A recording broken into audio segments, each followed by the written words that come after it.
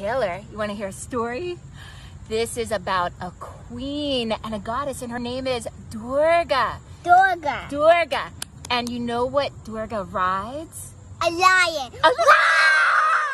Oh my gosh. And when she rides her lion, where does she go? To fight. Who is she fighting? A buffalo. Woo! And then what kind of weapons does she have? Does she have a bow and arrow? A bow and arrow. Does she have a sword? Does she have a trident, Taylor? Oh yeah, what else does she have? What would be a good weapon? she goes in and she defeats the buffalo and then the lion goes what? Hey Taylor, do you know what Durga stands for?